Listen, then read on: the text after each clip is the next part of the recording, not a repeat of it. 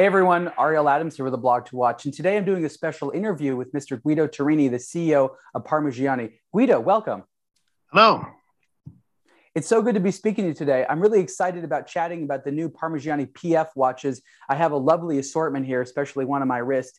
This is the, the micro rotor, the, the entry level model, but it's really, really nice. Talk a little bit about you coming into the Parmigiani brand. You're the new leader there what is your overall goal with the brand? And talk a little bit about what the brand represents to you. Well, I entered a year ago uh, in January last year. And um, the brand, uh, I knew it from 20 years before. So the, the, profe- the perception that I have of the brand was extremely prestigious and extremely rare in, in the style and in, the, in, in its perception. Uh, when I entered, uh, it was confirmed, uh, and uh, and I, I, understood better the, the flavor uh, and the, the, the, values that are, that are inside, which are extremely um, noble, in my opinion, because they are rooted into restoration and they are rooted into understatement. So great craft, great knowledge, but also a style which is uh, discreet. And uh, these two um, elements, to me, are the foundation of the brand. Uh, and they come from the founder, from Michel Parmigiani himself, uh, that that embodies, if you want, these uh, these values uh, in his whole life. And I never met him before, so I met him in the first day that I joined, and this comforted me because um, it uh, the imprinting of the brand uh, that he gave is something extremely interesting to develop and to make it contemporary for for a customer of today, and that's the goal that we have not a lot of brands that are named after a person have that founder still alive, but with Parmigiani, you do. And I want to speak a little bit more about Michel Parmigiani because he is a very interesting person. Talk a little bit about who he is and describe some of his values a little bit more, just so people have a better understanding of what some of the visuals and the technology and the watches mean to him. Well, I have no other way of describing Michel as a living legend of uh, restoration. So to me, this means a lot because uh, restoration is an art, and it is an art that uh, is not very well known in the industry because the industry has become very big and very important economically.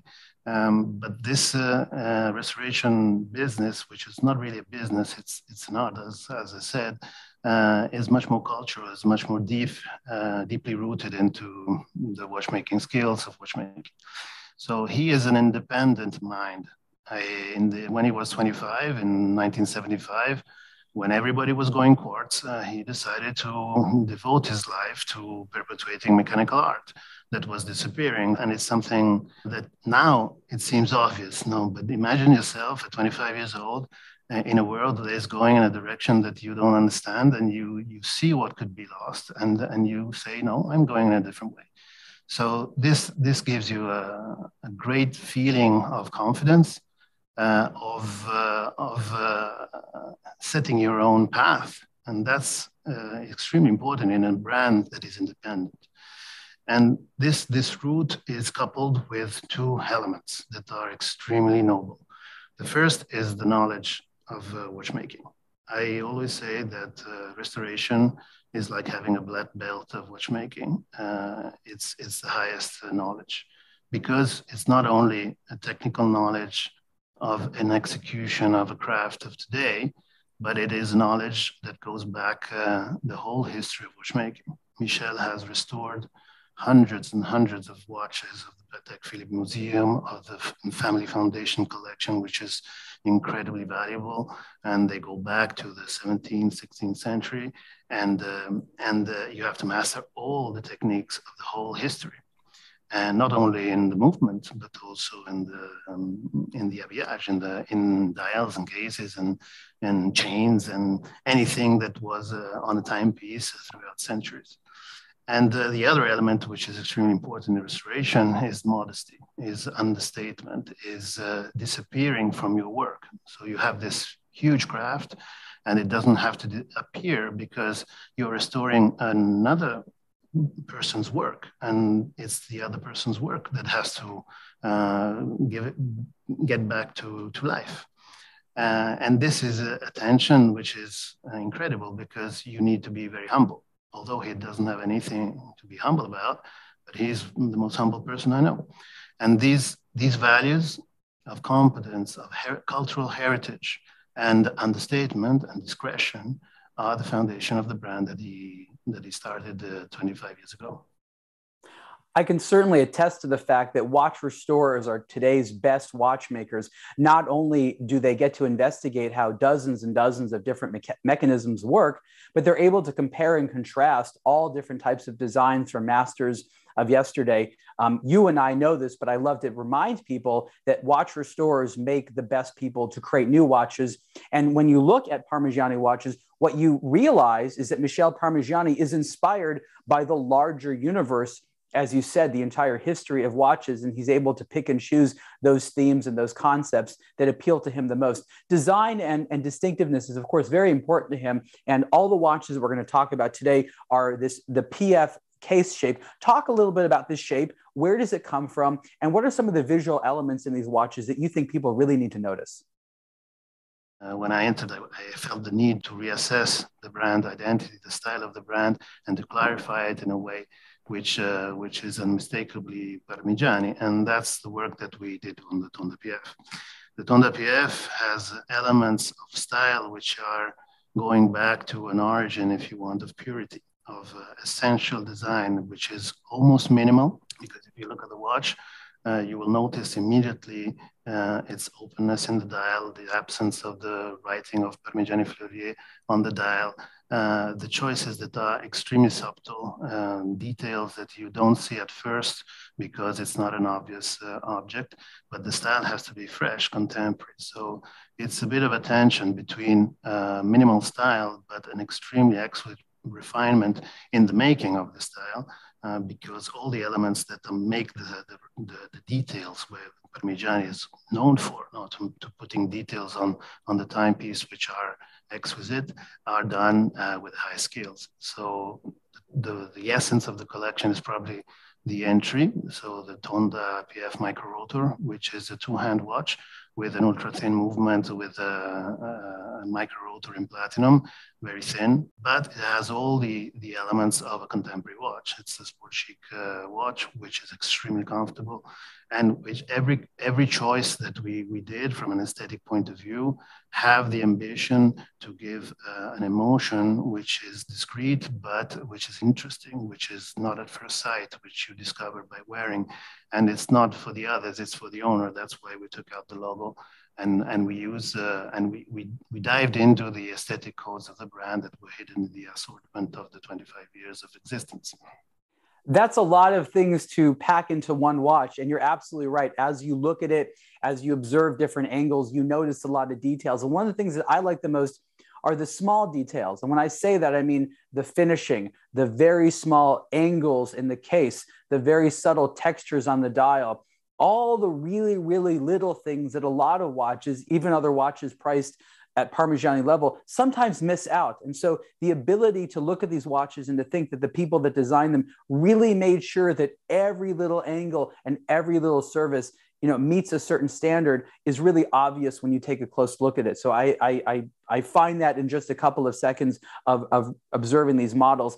Now this is the entry level point here the micro rotor and it's really really gorgeous. And then we move up to the chronograph which is what I'm wearing right here, and a few other models. Talk about how, in your mind, you took the Tonda PF from the simple two hand and extended it to the chronograph, the split second chronograph, and of course, the annual calendar that all build around the core theme, but of course, are for different types of customers. Talk about the collection. Well, if the micro rotor is the essence of the collection, it's the purest execution. If you do only one movement, one, uh, one model, you are not uh, showcasing a style. You're showcasing a timepiece. So we, I wanted a, a, collection built on the most iconic movements of the brand to celebrate the 25th anniversary because um, these four movements that we chose have been uh, very important to the brand. Some like the split second uh, chronograph, which is a manually winded uh, five hertz chronograph with a movement that is completely in gold. There are 36 grams of gold in the in the bridges and the platine. Is probably the to me, without modesty, it's the best chronograph in the world. And uh, uh to the annual calendar, to the to the chronograph five hertz with uh, not a split second, which is a beautiful movement um, to, to display a chronograph. So these four movements build up uh, a collection. And when you have a collection, uh, you are interpreting the style that we defined with the micro rotor uh, at different levels of price point and at different levels of movements.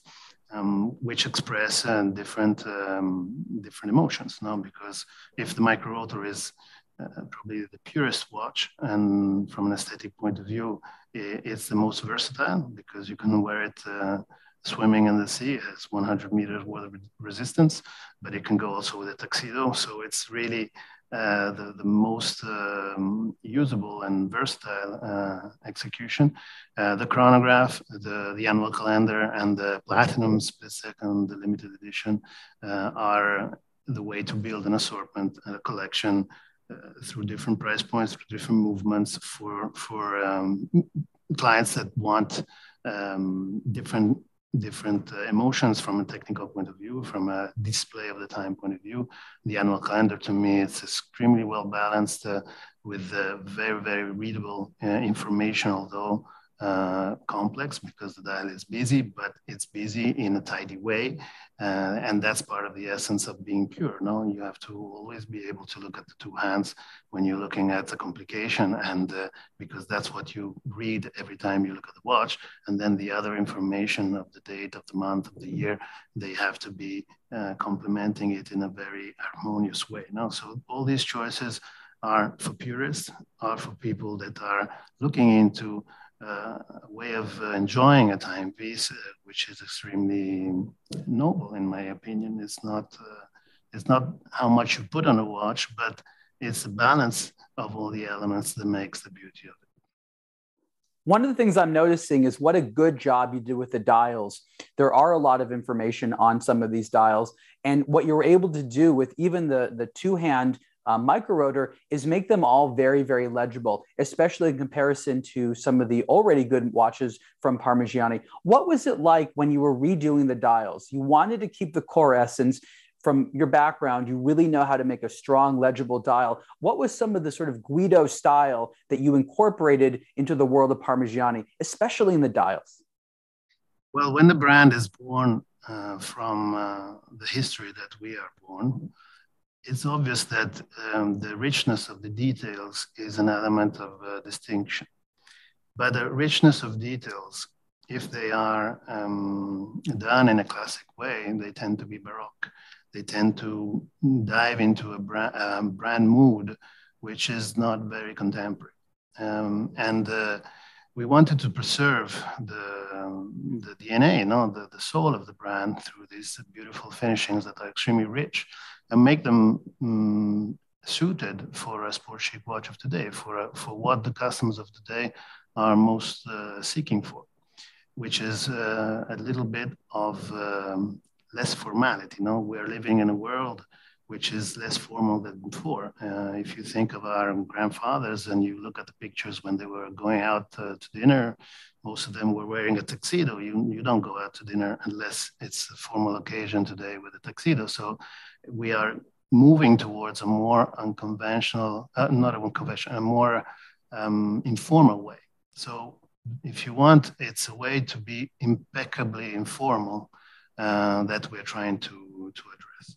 So keeping these elements that are uh, of extreme rich, richness in the finishings, in the details, and making them contemporary was probably the biggest challenge because when you do a guilloche, you are in a world of uh, another century. You are in the brigades, you are in, in, in, in timepieces that go back in history, also in the mood. So the, the, the recipe, if you want, of um, bringing up to date uh, a classic uh, technique like a guilloche was the size of the guilloche. So the design, first of all, had to be rooted in the brand, and it's uh, the design of the Grain d'Orge that was always present in, in Michel Parmigiani's uh, work. And uh, by minimizing it at the maximum scale, uh, you make it become a texture that is not invasive to the eye when you look at the, the time. And you, the result you, it depends on the angle that you look at the watch no because sometimes you see it sometimes you don't and that's exactly the purpose because you want to have a clean surface because that's what is more interesting today uh, in, in, in what clients are looking for, but it's not a plain watch. It's not a plain, it's surface, it's, it's texture, it's something that is interesting. No? And then I wanted a minute scale that was at a lower level than the guilloche because I wanted to give a protagonist uh, position to the work that is on the dial. And, uh, and the minute scale is done in a different treatment. So it's just a, a finishing very, very thin, where the decalque, where the, the indication of the, of, the, of the seconds, of the minutes, uh, is extremely readable. No? And, uh, and this double surface with this clean readability on the same dial color. It's just a surface that gives the reflection of a light, this tone that you look at, um, makes this emotion. And the indexes that are kept extremely small on purpose because it's something that opens up your dial. You're looking at a at, at, at an open uh, dial that you don't need anything else than two hands to read the time. So the indexes are just markers that help you out in this exercise and they are across these two surfaces. So it becomes like a step now to, to set an index, which is so faceted, so polished, that reflects the light so powerfully like a, like a mirror um, on two surfaces makes an interesting movement that uh, in, in a scale of one or two millimeters, that, that's where the design has, the space, the room that design has to express itself on a watch. Uh, you are looking at an, an, extraordinary complexity for a, for a result which is extremely immediate, which is extremely powerful. And the design, uh, the simplicity of the effect is what makes the longevity of the design. And the execution of that is extremely difficult to make, not for the sake of difficulty, but for, for the fact that we were looking for subtle um, emotions, no? so, so emotions that you don't see at first.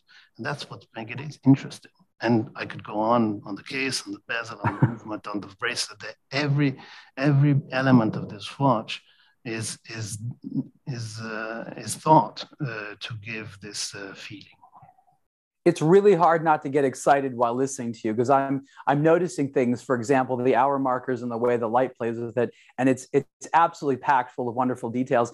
And as we know, sometimes the measure of a high end watch is the amount of work that goes into things that you don't see. And on that note, I want to have one final comment, and that is about the finishing. Parmigiani watches have beautiful movements and they're very, very well finished, which means that they're polished and decorated very nicely. Talk a little bit about the effort and the culture at Parmigiani, specifically when it comes to finishing the movements?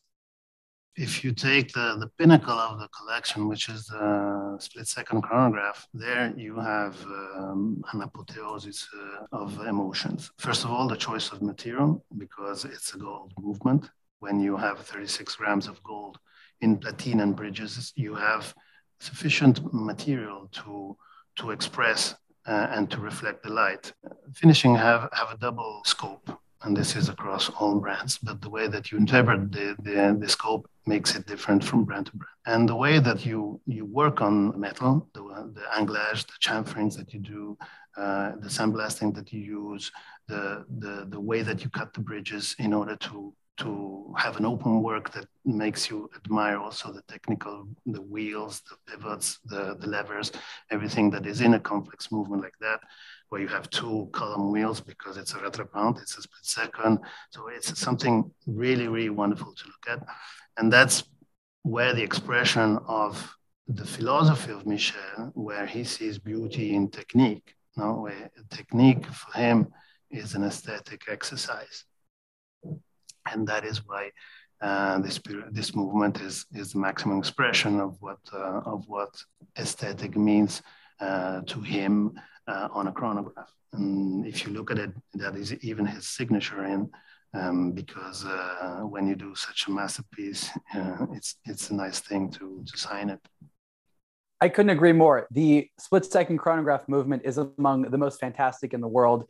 Um, really, really nothing else there like it. And the other movements that Parmigiani makes are, are really stunning. Um, I know that when people discover them, they're going to like it. Guido, thank you so much for talking about the Parmigiani Tonda PF collection. We talked about the micro rotor, we talked about the chronograph, the annual calendar, and of course the split second chronograph. Wonderful watches. And you can see more on the Parmigiani website as well as the blog to watch.com. Thank you so much. Thank you, Aaron. Thank you, everyone.